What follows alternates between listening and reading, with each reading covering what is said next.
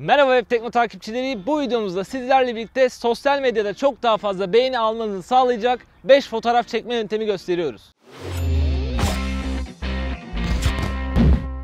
Arkadaşlar hiç vakit kaybetmeden ilk yöntemimle başlamak istiyorum. Bir adet içinde helyum gazı bulunan uçan bir balon bulmanız lazım ve bunu biraz yükseğe gönderiyoruz. Adeta drone ile çekilmiş fotoğraflar yakalayabiliyoruz. Tabii ki de daha fazla yukarıya gönderebilirsiniz. Biz de biraz aşağıda tuttuk. Bunun sebebi ip yükseldikçe havadaki rüzgardan dolayı telefon çok fazla sallanıyor ve daha kötü görüntüler elde ediyorsunuz. Ortalama 15-20 metrede tutmak bize göre ideal. Bu yöntemi video çekmek için düşünmeyin arkadaşlar çünkü havada ciddi bir titreşim oluyor. O yüzden telefonu yukarıya video kaydını başlatıp göndereceksiniz ve onun içinden screenshot almanız gerekiyor. Yine de sosyal medyada oldukça güzel iş yapacak fotoğraflar yakalayabilirsiniz. İkinci maddemiz telefonu kamerasına su damlası koymak arkadaşlar. Telefonumuzun kamerası böylece bir makro lense dönüşmüş oluyor. Gerçekten sonuçlar şaşırtıcı. Bizim çektiğimiz telefonda IP68 sertifikası yoktu. Biz yine de denedik. Ancak telefonum su kaçar falan diye korkuyorsanız arkadaşlar hiç girişmeyin bu işe. Ama ufak bir su damlasından da ben bir şey olacağını tahmin etmiyorum. Yine de sizin kararınız. Biz su damlatan ufak bir göz damlası şişesiyle yaptık. Bunu dilerseniz pipetle yapabilirsiniz. İsterseniz parmağınızın ucuyla bile bırakabilirsiniz arkadaşlar diyelim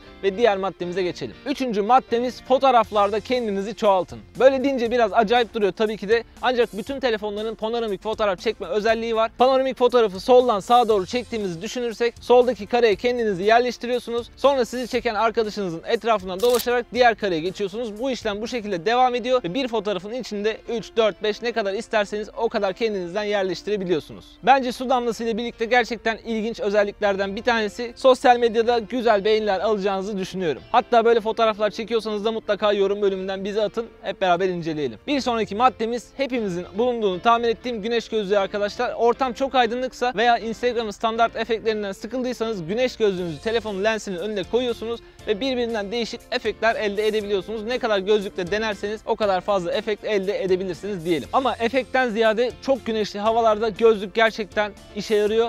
Hemen kolayca siz de evinizde deneyebilirsiniz. Arkadaşlar son maddemize geçtik. Son maddemiz hepimizin arabalarında bulunduğunu düşündüğüm güneşlik. Bu güneşten koruyan bir kumaş parçası var. Teşekkür ederim Çağdaş. Bunu fotoğrafını çektiğiniz modelin yüzüne güneşten ışığı alarak yansıtıyorsunuz ve böylece karanlık kalan yüzler fotoğrafta çok daha aydınlık, çok daha parlak ve güzel bir şekilde çıkıyor. Ama eğer böyle bir şeyiniz yoksa hop bir CD de kullanabilirsiniz. Arkadaşlar CD biraz riskli arkadaşlar. Suratınızda direkt böyle yuvarlak bir ışık da olabilir. Işığı güzel yaymadığı için ufak bir nesne olduğu için. O yüzden varsa arabadaki güneşlikler yoksa da CD ile denemekten bir zarar gelmez. Tabi evinizde bir CD kaldıysa artık. Tabii ki de reflektör veya CD'yi direkt açık havada düşünmeyin arkadaşlar. Evde bile bir fener tutup suratınıza daha homojen bir ışık verip daha güzel fotoğraflar yakalayabilirsiniz diyelim ve artık videomuzun sonuna gelelim. Arkadaşlar videoyu bitirirken şurada bir anket var. Hemen bunu da cevaplarsanız seviniriz. İçlerinden hangisini en çok beğendiniz? Ben oyumu şahsen telefonun arkasına su damlatıp makro fotoğraflar çekmeye veriyorum. Sizin de cevaplarınızı merak ediyorum. Ayrıca siz de bu